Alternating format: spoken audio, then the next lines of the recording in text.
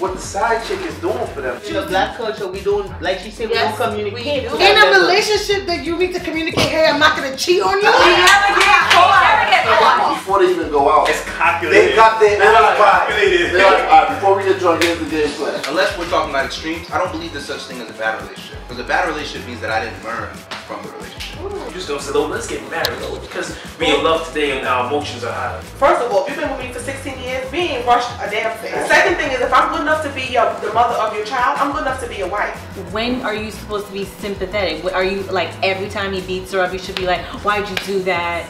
Like, you know, why, like, why you keep beating her up or stop being that guy? Like, I mean, there's gonna become a point where you're just like, all right, this is what they do. Because of um, Kim K.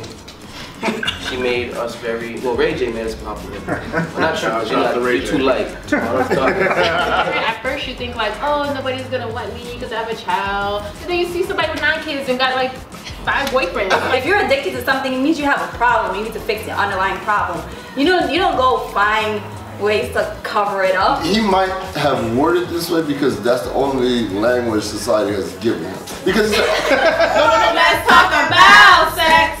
Let's talk about sex. Use your hands. Eye contact is awesome. Back up. Oh. So you get them down there first and get the good saliva up. Then you can do all the tricky stuff because then it'll get nice and sloppy Show after me. that. Huh? I want to be in the back of your throat.